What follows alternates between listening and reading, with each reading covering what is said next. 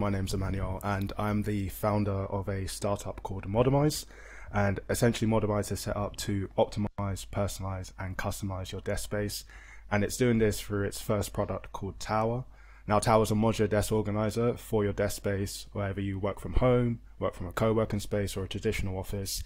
And it's modular in the sense that you have different components and different items that can store anything on your desk from pens and pencils, your plants, your phones, headphones, literally anything. If you have a cluttered desk, then Tower is definitely for you to reduce your uh, reduce your desk clutter and boost your productivity as well. My product was really born from my A levels. Really, um, essentially, we are given a brief where we had to try tackle a problem that people had but didn't know how to necessarily identify.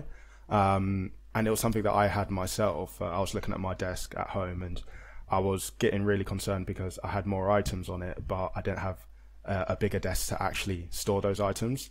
Um, and someone just told me just just get a bigger desk, but I couldn't do that because the size of my room wouldn't allow me to. So um, I looked at trying to more optimize the space that I was already using, already had, and looking at desk organizers, for example, and from scouring the market and checking out you know different items, products, and reviews there wasn't really anything that was quite modular to like almost customize it to my own needs.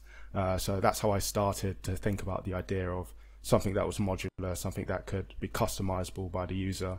And then lo and behold, it's developed over the past few years. Uh, I've also taken it as my final year project at university as well. And uh, yeah, so far it's uh, it's been so good. I've finished my market ready prototype. I've also got a market ready version of the packaging as well. Uh, so at the moment, it's just looking about sourcing manufacturers and trying to sort out distribution lines and supply chains at the moment uh, before launching to market.